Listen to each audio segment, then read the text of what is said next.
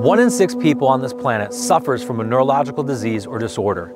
Most likely, you or someone you know suffers from a disease like Alzheimer's, Parkinson's, multiple sclerosis, or other neurological maladies every single day.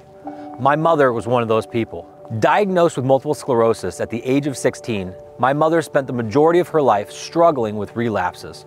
When she passed, I felt called to raise awareness and join in the fight towards positive advancements in degenerative diseases.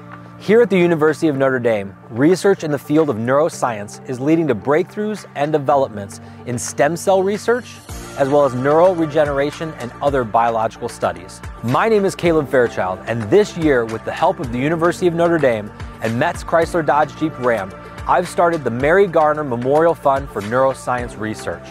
A portion of my sales will be set aside, matched by Metz Chrysler Dodge Jeep Ram, and donated to the university each quarter for neuroscience research.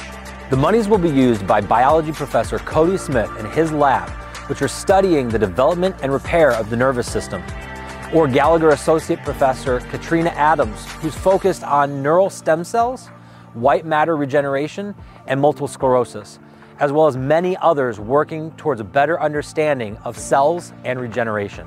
So follow me on social media as we keep track of the money raised by the Mary Garner Memorial Fund for Neuroscience Research and join me in raising awareness of the incredible work being done by the University of Notre Dame and their neuroscience teams.